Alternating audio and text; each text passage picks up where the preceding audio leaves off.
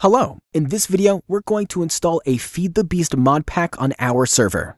I'm going to install Monster version 1.1.1 for Minecraft 1.6.4. Chances are that you're installing a different pack. That's okay. There are very few differences between installing different packs, mostly just different mods and file names. You can also follow along if you're installing a Technic platform mod pack like Tekkit or Hexxit.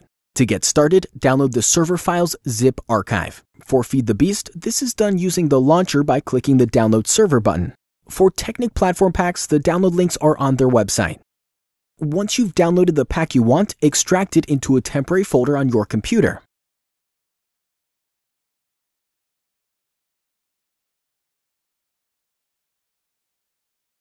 Now we need to delete any .sh or batch files. For Feed the Beast packs, these are named startserver.sh and startserver.bat. These are used only if you're hosting a server on your own computer, and so aren't needed with a HostHorde server.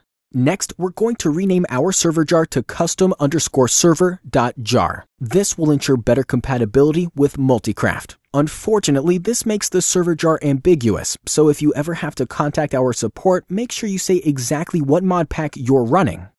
In Multicraft, stop the server if it's running. Now we need to upload the pack to our server with FTP using FileZilla. If you're unfamiliar with FTP, check out our guide on FTP in the knowledge base. If you have a vanilla world save and related files, it's a good idea to delete them at this point. I'm going to delete everything except for my jar folder. On the left panel, navigate to where you unzip the pack on your computer, select all the subfolders except for libraries, and upload them to the root directory of the server. For this pack, these are mods and config. Different packs may vary slightly. Uploading may take a while depending on the size of the files and the speed of your internet connection. You can watch the progress of the uploads at the bottom of FileZilla. Once you've finished uploading, open the jar directory on your server by double clicking it. Upload your server jar in the libraries folder here. Again, this may take a while. Now that everything has been uploaded, switch back to Multicraft. In the jar file dropdown, select Mod Custom Server. Scroll down and click Save. Now you can start your server we can watch the startup progress in the console. And now we're running Feed the Beast on our server.